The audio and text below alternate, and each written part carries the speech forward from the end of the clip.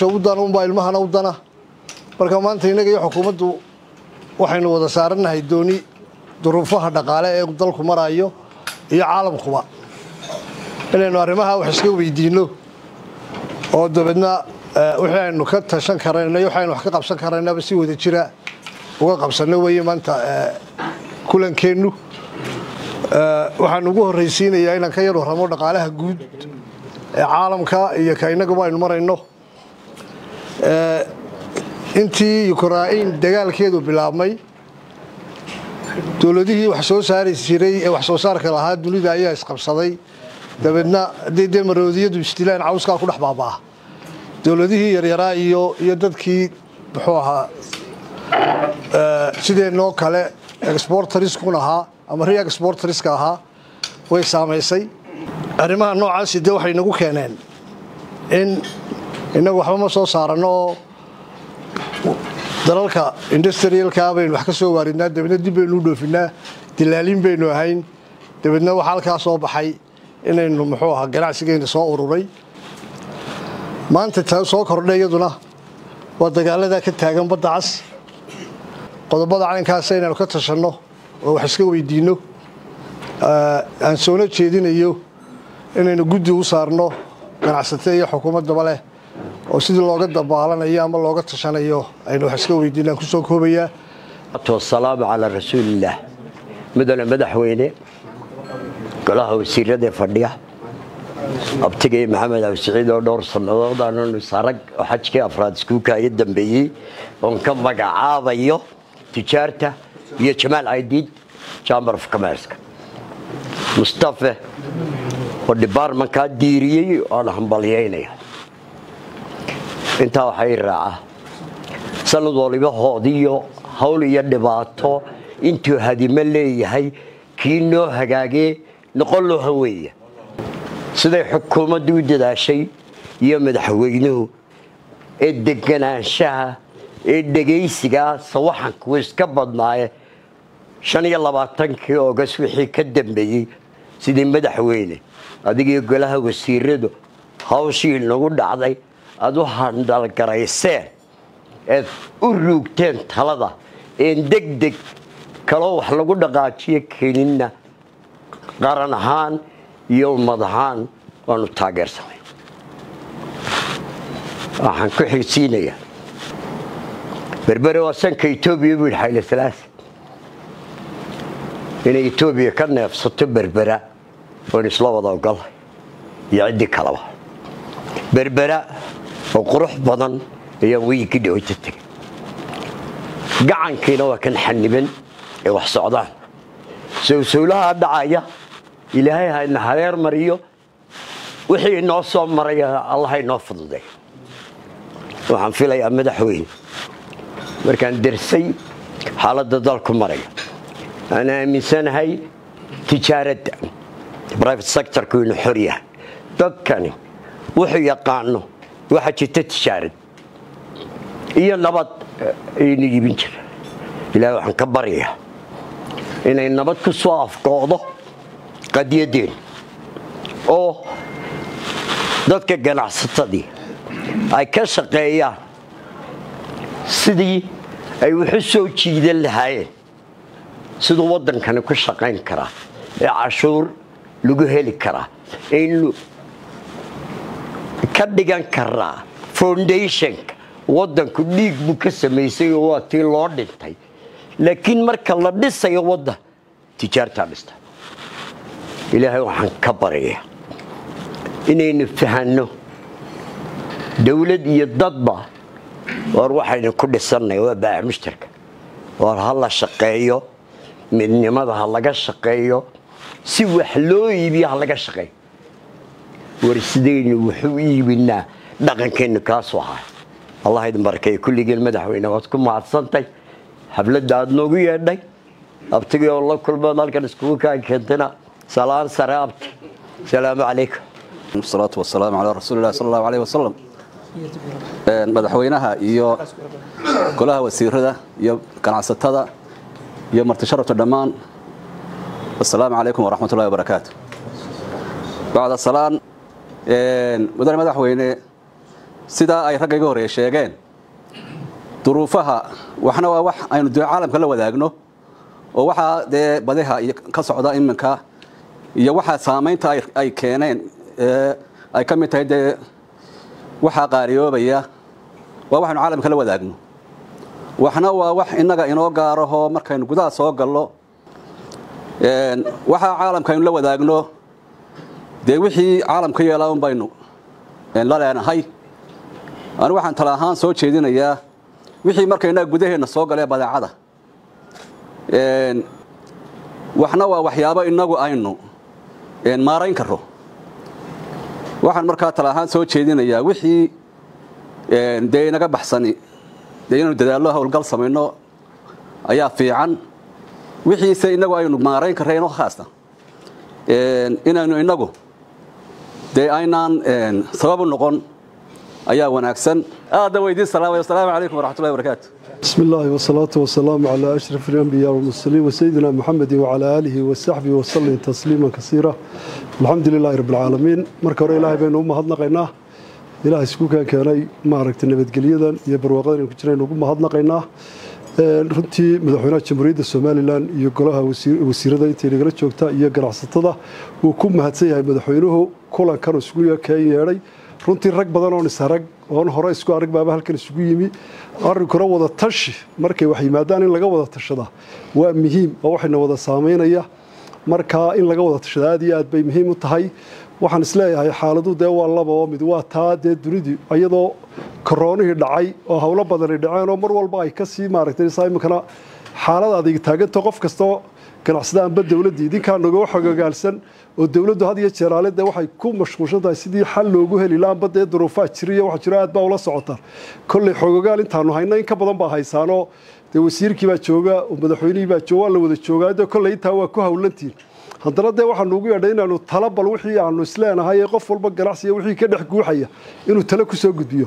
Waxaan is leeyahay taa cusub ayna saamaysay waa mid ina saamaynaysa oo laga yaabo inay dee siday u socoto xaalad badan oo inaynu ka sii tashanaano ay maaquul tahay. Waxaan is leeyahay adduunyadu dee meel adag bay maraysaayo inay sii durugtana wax dhici kara. Maxaa inooga qorshaabaa isweydiin leh? Waxaan is leeyahay dee dadku waxay ku xisaabta wax soo saarkooda.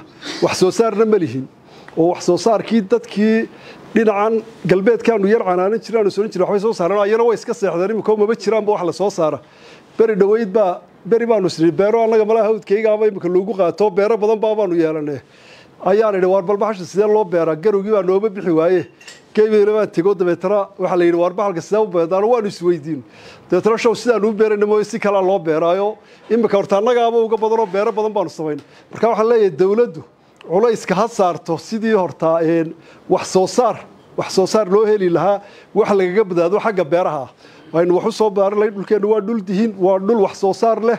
Haddii hawshaa culayska la saaro dadkuna dhulka u jeestaan wax badan bay soo saari karayaan. Ummadaha markaa dee eeshiyadaa markaa tagto qof waliba intiisa yar buu wax ka soo saaraa wax cunaya uu haysta. Meel waxma doonte taana inaynu ka fikirna waa muhiim. Marka waxaan ku waxaan ku soo ururin lahaa guddoomiyaha kolley rugta ganacsiga dee noo jooga wuxuu yidhi inaanu is aragno oo guddidaa loo saaro wixii talaa aanu ku soo ururino maanta dee waa laysku imanayaayo kulan baynu leenahay oo waa wada tashi waxaanu islahayn. Dee wasiirkii sacad baa idiin jooga malaa idinla hadlayo xaaladdu halkay maraysa iyo xoogaal iyo wax badan laydin odhanayo oo laydin odhanaya madaxweynena wixii uu dee caalamkaa ka soo ururiyay waxa laydiin sheegay. Annagii baa nugu yar horraysiiseenoo kolle way nugu yar taagantahay waxaan leeyahay annagu aanu insha allaahu aanu guddidaa ka maaragtay intoo guddideeda la ururiyo wixii xoga ee aanu hayno amba talaa aanu ku soo ururino aad iyo aadna u mahadsantiin wassalaamu calaykum waraxmat allahi wabarakaatu madaxweynaha iyo golaha wasiirada iyo ganacsatadaba waa salaamaya salaanta islaam baan ku salaamayaa kolley dee waa waxaan malaynaya rag badan oo hadalkayga mudan baa joogay laakiin haddii laysoo kiciyey dee tale markaynu dhibaatada waynu dee jirto waa dareensannahay waana sidaa la sheego dee wax khaarajiya iyo wax loo kalaba way leedahay taa khaarajiga oo kale iminka badaha dhibtaa ka soo korodhay waa hubaal inay ganacsigii saamayn xoogla ku yeelanayso. Waay badeecadii hadda soo socdo soo rarnaabaan imanayn basda u yimaadaan bay adag tahay oo dhan waa leexday. Waxaana suuragala de wax istaagaanba markaa anagoo sidii walaalkaygii horreeye sheegay waxay la tahay in laba arrimood un lagu dadaalo dowlad iyo ganacsatiyo shicibba inaynu ku dadaalno. Warbal waxaynu cuni lahayn wax kalagacs kale haynoo joogi. Inaynu dee wax soo saar u jeesano. Oo ganacsatadu ay dee xaggii wax soo saarka loo jeesto. Iyo in dee kayd la samaysto. Intaynu bal waxay noo imanayaan horta lafteeda. Berigii hore badeecadaha dee kule berberaan joogaayo maraakiib waaweyn baa iman jirtay oo waa kan maaray dee dekadii hore fadhiyo wasiirku. Maraakiibtu waxay iman jirtay maraakiib soddon kun oo tan iyo shan iyo labaatan kun oo tan iyo ka badan istoodhaa buuxi tiri laakiin iminka waxaa alaabta ku jiray jiray laba container maalinta ay yara habsaamaan waa laga dareemaa suuqa raashin yarada marka waxa weeye kaydkii badnaayay raashinka iyo dee iyo wixii badacadaba waa in lagu xisaabtamaa in kayd aynu haysanno oo kayd la sameeyo iyo wax soo saarun bay ila tahay maanta ganacsiga way soo xidhaya xaqiiqatan. Waxaa kaloo iyana dee ganacsiga u ah lafdhabar u ah in nabad la helo. Nabad in la helo marka ganacsada waxaan kula talin lahaa. Dee inay nabadda iyaguna qaybtooda ka qaataan. Marka nabad la helaaba ganacsigii shaqaynaya oo waddooyinku furmaya. Iminka tusaale ahaan rag badan oo imika halkan fadhiya sagaashan cashaanu burca fadhin oo arrinta cali ka shaqaynayn oo rag badan imika ganacsato dhowr iyo toban ragga halka fadhiya ka mid yihiin alxamdulilah ilahay waa nagu soo guuleeyey haddaana ganacsadeedu gelinna wasiiradu waa joogeenoo umay may guntanteen. Xoog baanu iska saarnay dowladdana runtii culays badan baanu ka qaadnay marka meelaha dhibaatooyinku ka jiraanna waxay la tahay ganacsatadu iyagoo ganacsigooda u daneen bilcid kaleba u ganacsiga wuxuu soconayaa marka nabad la helo. Meelaha nabaddu ay ka jiraan shaqaaqooyinkuna ganacsatadu iyana waxay la tahay inay taboon tahay in ay xoogga saaraan sida ay uga qayb qaadan lahaayeen sugidda nabadda arrinkan anigu taladeedu waxay tahay uun anoo kule laygana weyn yahay laygana waaya aragsan yahay. Malaa laygama weyne layga wanaagsan yahay laygana aqoon badan yahay. War maanta waxaynu u baahannahay inaynu horta waxaynu cuni lahayn sidaynu ula soo bixi lahayn. Waxna u kaydsan lahayn in falugeed qabanno. Waayo fafaalaha muuqdaa waxaa suuragala dee in xaggii baday waxaynuna iminka kartuununa inaan dee ka shaqayna wax soo saar ka shaqayna ganacsada haddaynu nahay. Wasalaamu calaykum waraxmat ullahi wabarakaatu bismi illahi raxmaan raxiim allahuma salli calaa sayidina maxamed wala alihi wasaxbi wasalam madaxweynaha wasiirada ganacsatada.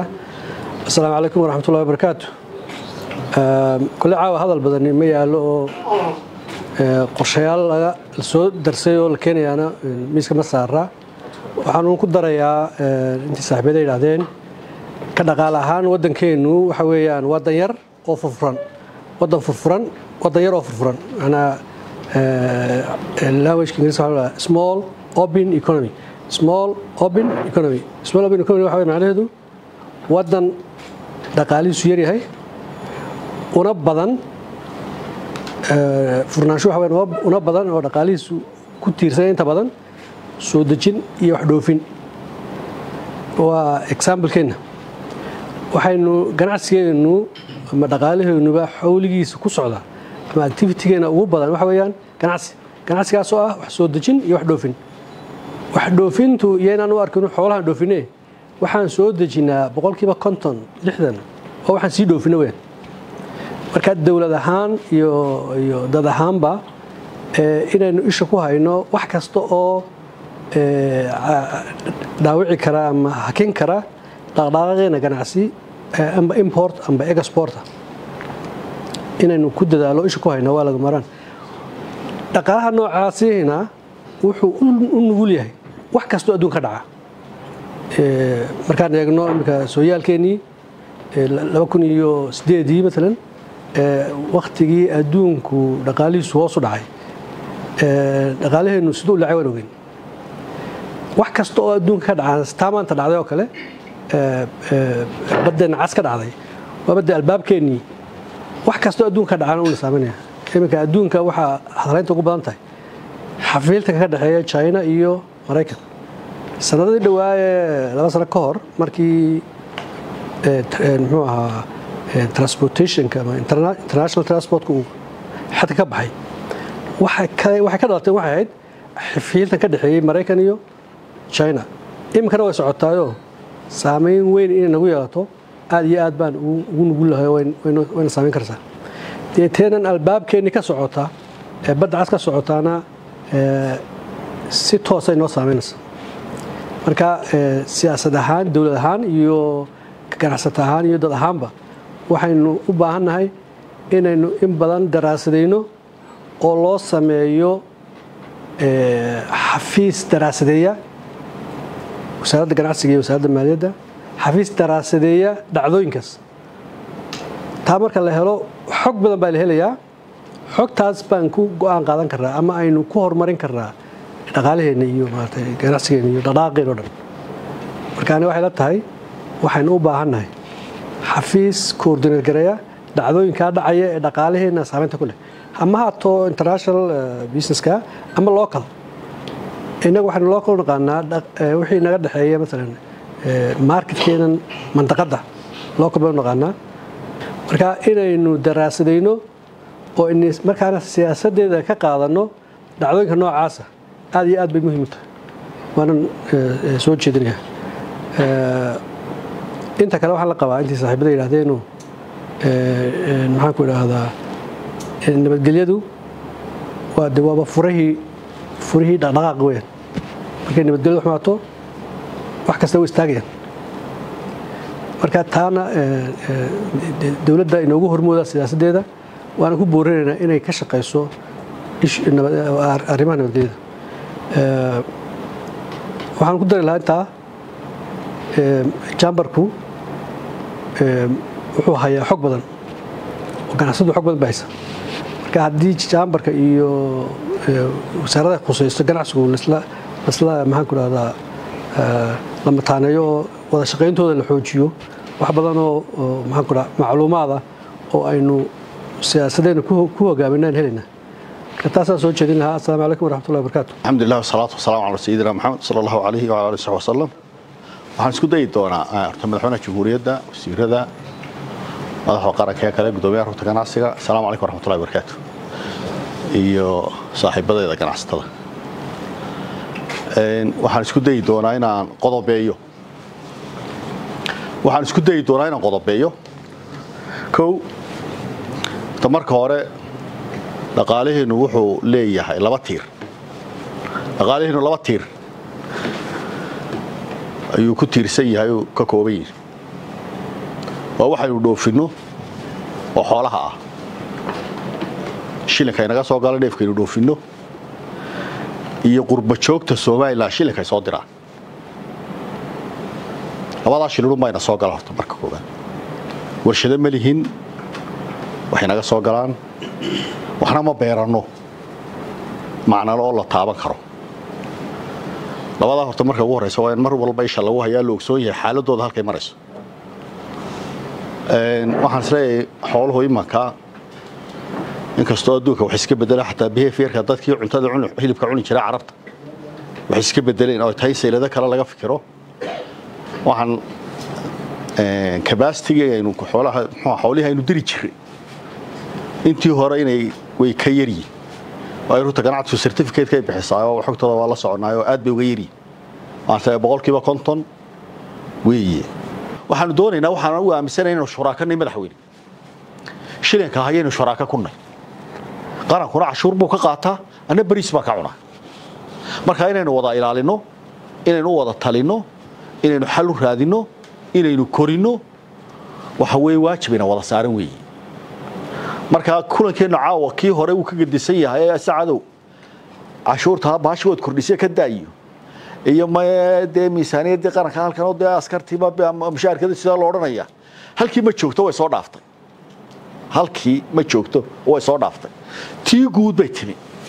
Marka sida awood waxay u baahan tahay iyadoo dee kolba wixii la hayoon aynu wada leenay. Marka inaynu isweydiinno dhibaato arrintaa soo korodhayna iyaduna dee waa arrin weynoo taa laftigeeda waa la xejecloo dee in wax la iska weydiiyo sharikadaha keryarska konteynerada soo qaadaya.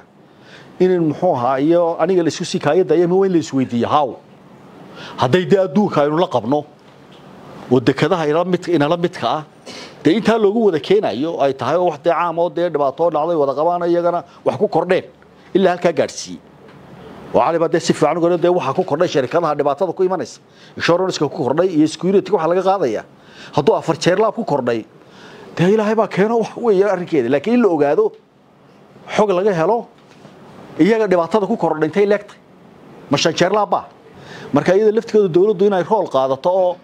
nimankaa iyo ganacsigaa laysku sii daynin dee ganacsatadii soo raranaysay laga warro waa ganacsatada soomaaliyeed dee wakiilo inta u yeedhaan lahaa loo yeedho. Cali baa si fiican u garanaye dee la weydiiyo iyagana iyadoon la dhibi hayn weydiiyo waa la xejecele waxay kordhiyeen iyo dhibaatada timi. Miyay dee isdaboolayaanay sidaa tahay? La iska warhayaana mar walba laga wada socdo. Beefyarkaa inaynu shuraaka nahay oynu wax wada leenahay. Weliba madaxweynuhu dee waa nin geela hasha ka irmaan madaxweynuhu hasha geela ka irmaan raggan waa hashii somalilan u irmaanayd hasha geela ka irmaan nin kale dee geela way uga duwan tahay. Shilinta ka go qodaxda ka go u xuluulee ya? Subaxa ismadoobaysaysna waynu la madoobaadaa habeenkay soo harsay iyo daaca goodlaynaysa soo dheregtana dee isna dhulku si fiican u culanaya. Dee hashii baanu nahay.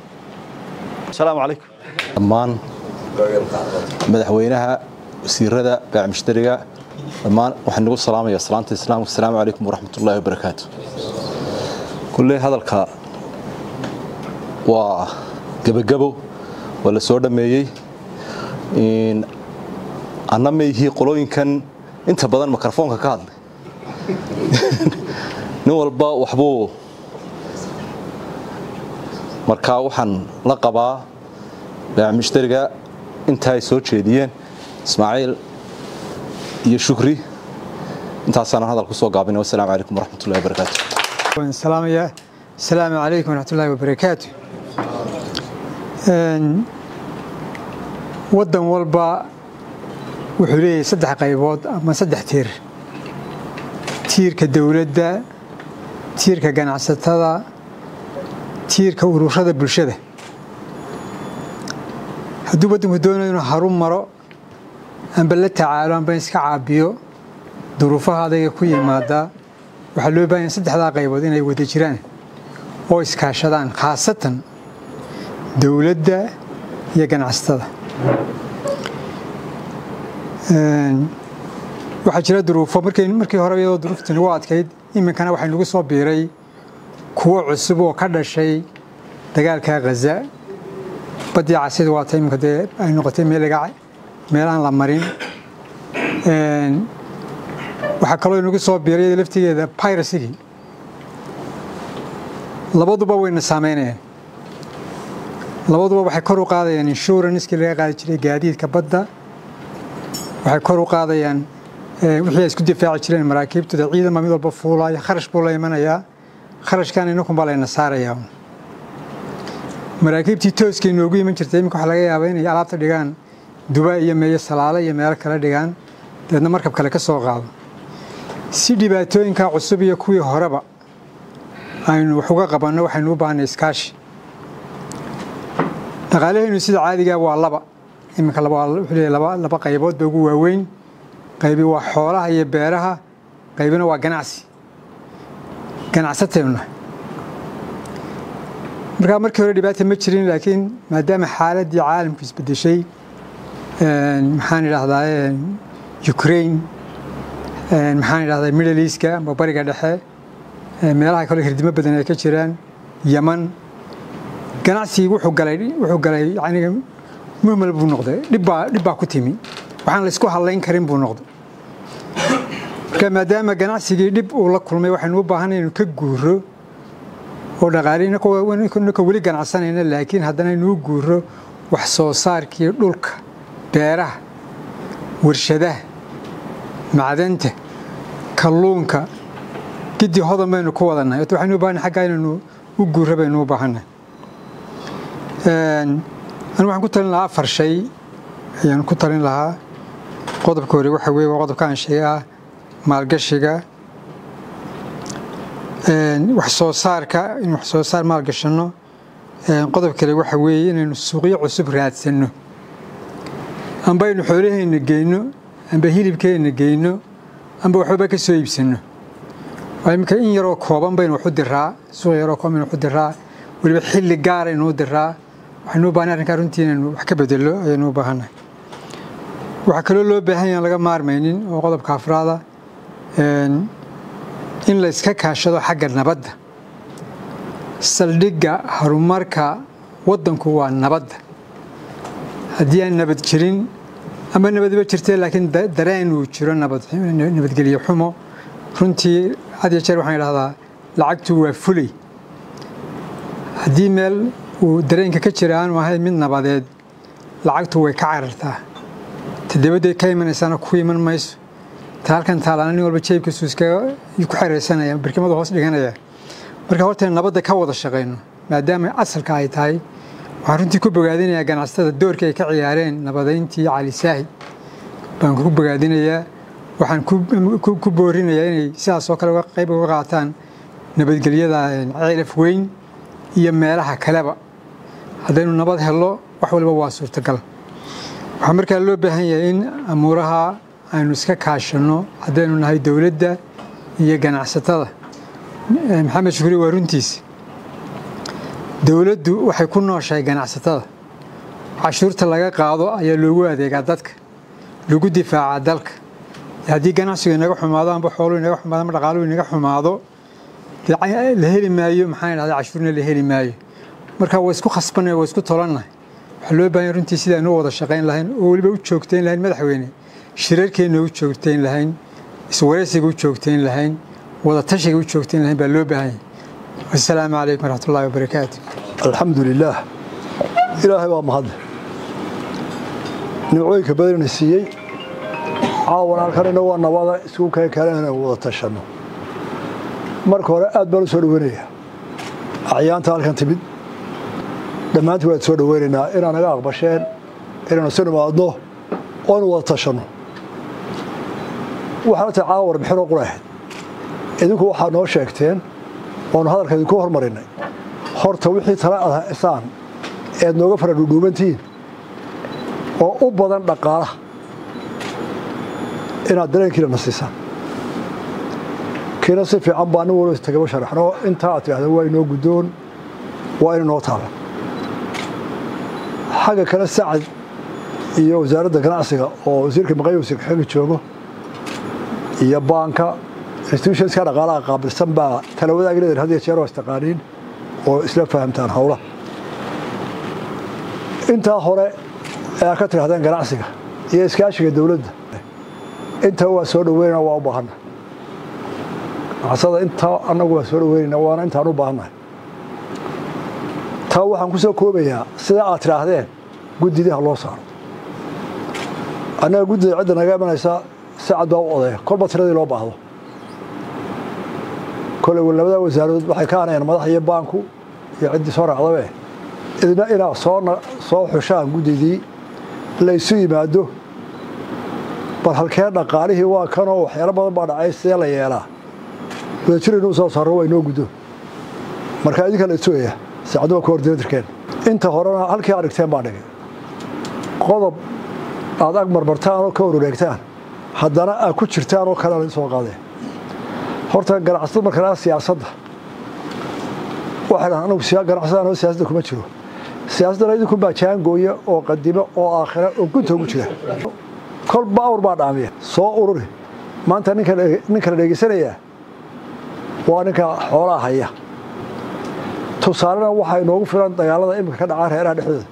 Marka loo taag waayo aakhirka ganacsadu baa dhammaysa ama fadhiyo hoosa ku dhammeeyeen ama sidii calisaayid ha u badhaydhaan aad iyo aad waa mahadsantihi bishaaro bishaaro bishaaro shirkadda isgaarsiinta somtel oo soo kordhisay adeega kaafiya balas kaasoo aad ka heli kartid nus dolar ilaa iyo konton dolar haddaba macamiil ku shuba nus dolar oo hel hal dhibic shan g b oo ay la socoto toddobaatan daqiiqo iyo konton fariin qoraaleed ku shuba hal dolar oo hel saddex g b oo ay la socoto boqol iyo afartan daqiiqo iyo konton fariin qoraaleed sidoo kale macamiil ku shuba laba dolar oo hel lix g b oo ay la socoto laba boqol iyo siddeetan daqiiqo iyo boqol fariin qoraaleed ku shuba shan dolar oo hel saddex iyo toban g b iyo bar oo ay la socoto lix boqol oo daqiiqo iyo laba boqol oo fariin qoraaleeda sidoo kale macaamiil ku shubo toban dolar oo hel soddon g b oo ay la socoto kun iyo laba boqol oo daqiiqo iyo saddex boqol fariin qoraaleed. Ku shubo labaatan dolar oo hel toddobaatan g b oo ay la socoto laba kun iyo afar boqol oo daqiiqo iyo saddex boqol s m s. Sidoo kale macaamiil ku shubo konton dolar oo hel boqol iyo konton g b oo ay la socoto lix kun oo daqiiqo iyo saddex boqol s m s. Adeega kaafiye blas waxaad ugu shuban kartaa idahab xidig hal eber hal afar geys airtime xidig laba boqol afar geys reseller xidig geys shirkadda isgaarsiinta somtel oo aad ka heli karto internet qiimo jaban tayo sare leh misna laysku haleyn karo